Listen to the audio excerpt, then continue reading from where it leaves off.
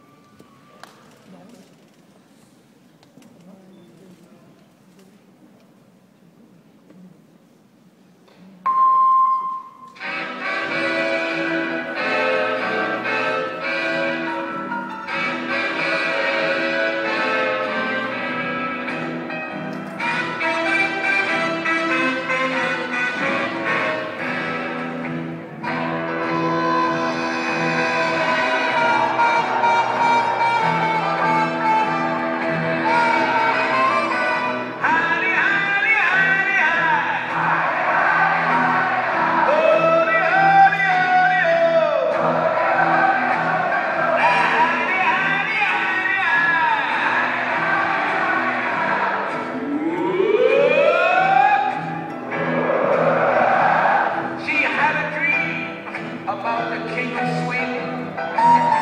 he hid for things that she.